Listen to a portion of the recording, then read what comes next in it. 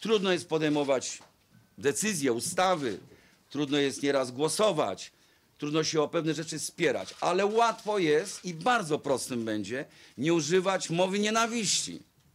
Na swoich Facebookach, panie i panowie, nie piszcie rzeczy, które są językiem pogardy, nie obrażajcie ludzi, nie napędzajcie tej spirali, która później na Facebooku zaczyna się rozkręcać. Bardzo proszę najpierw mnie spytać, co miałem na myśli, Jestem pod telefonem, odpowiem na te pytanie. Proszę po prostu do nas zadzwonić, zanim w wiadomościach będziecie budowali kolejną historię nieprawdziwą.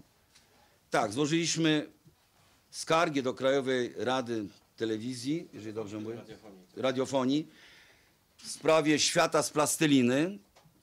Y, Złożyliśmy także y, i złożymy skargę do sądu. To były przez dwa lata emitowane programy, no można powiedzieć, programy nienawiści. Tam po prostu były treści, których powinniśmy się wszyscy wstydzić. I ci, którzy lepią to z plasteliny, i ci, którzy to emitują. Powinniśmy wyłączać telewizor.